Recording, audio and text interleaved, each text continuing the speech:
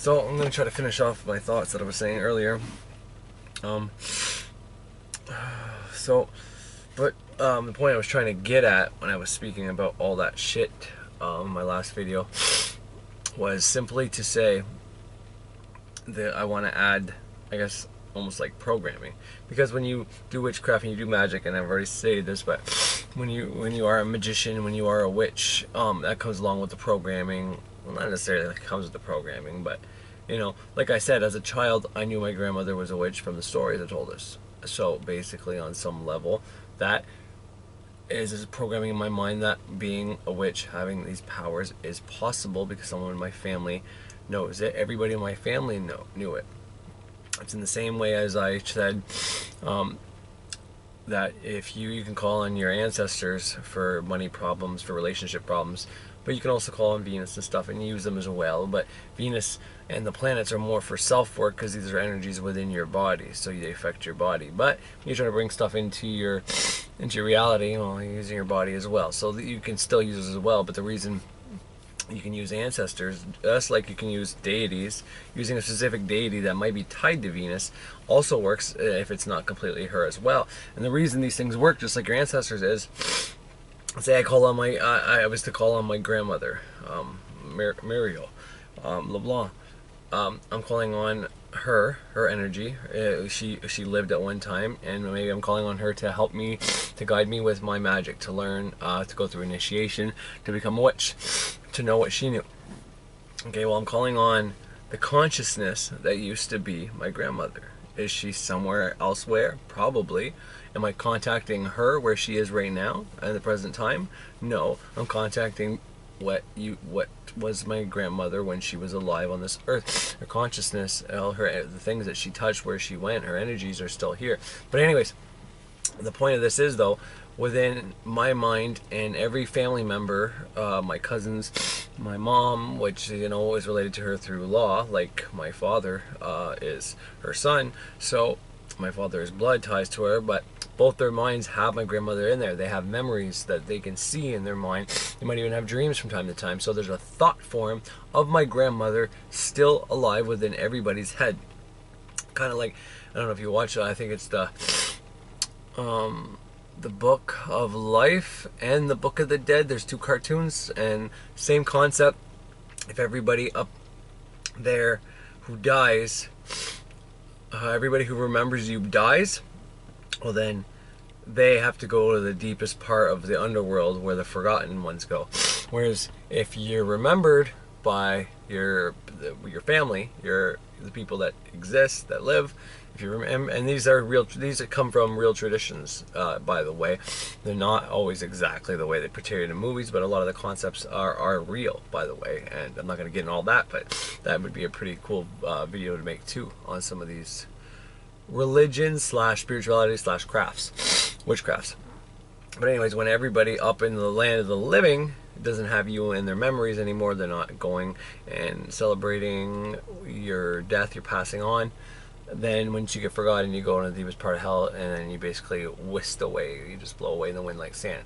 Because if you're not in the physical anymore, and you're not in the mental anybody's thoughts anymore, which is where things start. So you can still be alive as a thought, kind of like when someone dies on the table, their mind dies, but if their their body dies, but if their mind is still alive, or maybe it's the people around them still hoping they can come back, and maybe if those people are powerful enough or wish enough, then who knows? That's, that's something I don't think we could ever prove, anyways. But the point is, it's kind of like that with your ancestors.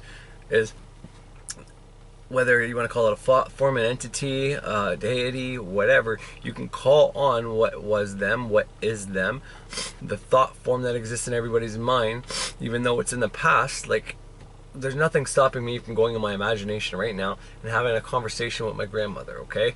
Knowing all the information I know about her now, okay, about her back then. I can go into the place where she used to live, the last place I've went to where she lives, and I can have a conversation with her. Me being today's Corey, and her being the last version of her that I saw before she passed away. And everybody's mind who knows my grandmother, that I'm also linked to, especially in a dream, would help create the picture of my grandmother and I can get real life answers.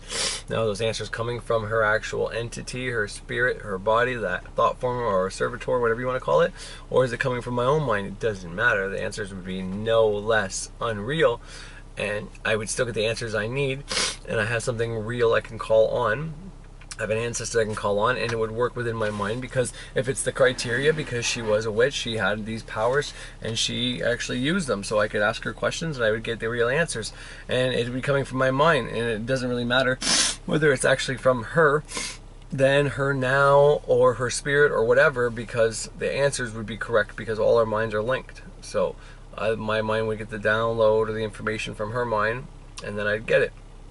This is a way we can download and get information instantaneously. You can do this in a visualization in your living room once you practice and you get those connections worked out.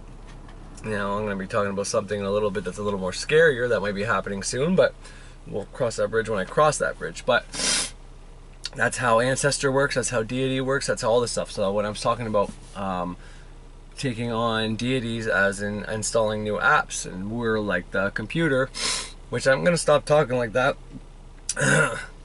because we are way more beautiful, wonderful, um, exquisite, fucking complex, and more powerful than a computer ever is. But it's it's a nice simile comparison slash metaphor. Um, if you use the word is or such as or like, then it's not a metaphor; it's a simile or comparison. But anyways, that's just some grammar for you, because I have a grimoire and I am good at spelling because I cast those motherfuckers. Anyways, you ever notice how the song? I don't know if you ever heard the song "fucking uh, Taylor Swift" and the dude from Panic at the Disco, but in the middle of the song, "Hey kids, spelling is fun." Well, they blank that bitch out. They blank out the all you hear is well actually they do the hey kids as well too so it's not so obvious so maybe you think it's just some cut but when they first started airing on the radio they would say hey kids and then the rest would be blanked out it's like why the fuck are they blanking out spelling is fun you know what I mean? That's fucked up. Isn't it because of the whole words or spells and cursive for curses and shit like that? Who knows? But anyways, so calling on your ancestors is like calling on planet energies, calling on deities what you're asking to happen is you, you're taking your subconscious mind and you're creating a symbolic link to speak to your subconscious mind. Once again, that's all it is. And you can look at it from the thought form perspective, like I like to use all the time, because it really helps me understand it all. But there's a form of thought in everybody's mind that is my grandmother and that is still alive within everybody's mind. Just like i said once we all die who remember my grandmother and there's no one else here that remembers her or has a picture up of her or anything like that is that when that person is truly gone. Who knows? I think they're gone when they're gone and they move on to the next task whether that's reincarnation whether that's going up whether that's helping who knows? But what i truly think is as long as you can have a symbolic representation to talk to your uh, subconscious, um, then it's going to work and you're going to get the information you need. And so, uh, how did I get onto that shit? Oh, yeah, okay. And this is how you, this is also the same way you protect against thought forms that could be coming after you the coronavirus as a thought form, just like any disease as a thought form, is a real thing people should know about and potentially be aware of. And it comes back to the reason why I want to add these very small but um, life changing and helping and like magic hacks basically because people don't know about it, right? If you're just in law of attraction, spiritual and meditating, that's great but you might not know the specific words to talk into exi- existence. And you, might eventually evolve and work anyways because you've been watching the same thing over and over again. You watch people saying that they've been uh, using law of attraction to manifest, and if you think their version of law of attraction is the same as your version, and you've been doing it for a few years now, well, then it, it'll work. But you want to speed up the process, well, depolarization is probably one of the best things you can do added. Well, meditation is probably the single most. then depolarization, then accept, banish, reject, deny. All that shit is all, like all, uber important. Ritual magic, getting to know your mind, practicing visualization, um, creating your space holy, removing. Uh, negativity and any harmful energies off of things you know all this stuff is helpful but not uh, it's definitely I can't say it's not necessary because there's always ways of doing things. There's always a bunch of ways of doing things, but unless you know those ways, and if you just have vague information, well, then it's not going to help you much. So the reason why I'm breaking thought forms down so much is, like I said, it's I want people to be protected against coronavirus, and I think that's the best way because I think there's something way more deep into coronavirus. I was looking into the neocortex because um, um, because last time I was listening to uh, Ralph Smart, he was talking about the Matrix, and um, he said, uh, "Neo, wake up! Neo, wake up! Neo, wake up!" And I couldn't help. I kept getting the picture of a brain in my head, and the neocortex, neocortex. I'm like, is this some kind of fucking metaphor for our neocortex and how our neo? This is before I, I I couldn't remember exactly what part of the brain the neocortex was.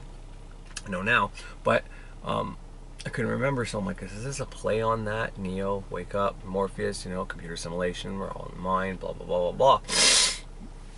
So it made me look down the path of the neocortex.